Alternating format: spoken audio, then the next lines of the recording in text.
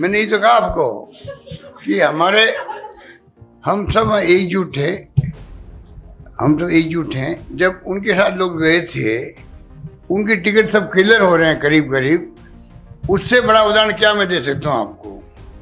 एक टिकट पे भी मैंने ऑब्जेक्शन नहीं किया हो मीटिंग के अंदर उससे अंदाज कर लीजिए कितनी पेगाएगी हमारी कितनी प्यार मोहब्बत आपस के अंदर है। हमने कहा देखिए हो गया। अभी एक एक करके जवाब तो देने दीजिए। मैं जब होटल में हम लोग चालीस दिन रहे थे ना जब हाईकमांड के आदेश से हम लोग सब सब गिले शिकवे जो भी थे एक फैसला हाईकमांड ने कर दिया जब मैं बाहर आया था होटल से बाहर आया था तो आप मेरे कई लोगों को शायद होटल से याद हो।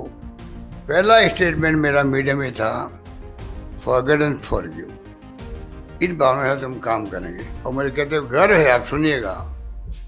सुनिएगा मैं प्रवचन नहीं दे रहा हूँ हालाँकि पर आपने कहा मैं हमारे पास टाइम है।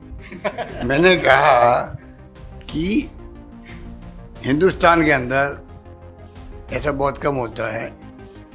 मिस्टर अजय माकन जो जनरल सेक्रेटरी थे हमारे ये बैठे वहाँ असेंबली के अंदर मेरे रूम में वन बाय वन 122 लोगों से मिले विधायकों से।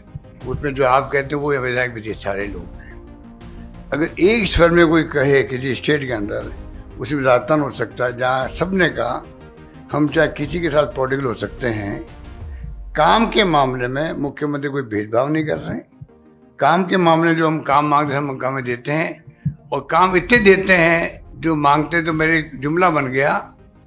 बहुत फ़ेमस जुमला राजस्थान में है, जो मैंने कहा, तुम मांगते मांगते थक जाओगे, मैं देते देते नहीं थकूँगा, वो मैं निभाया वहाँ समझ लीजिए, वो जो गए हैं, कहीं गए हैं, अभी क्राइटेरिया सिर्फ़ सिर्फ़ एक है, वो है विनिबिलिटी क्राइटेरिया है। वो सब बातें हम भूल चुके हैं। हम सब एक होके इधर लड़ना चाहते हैं।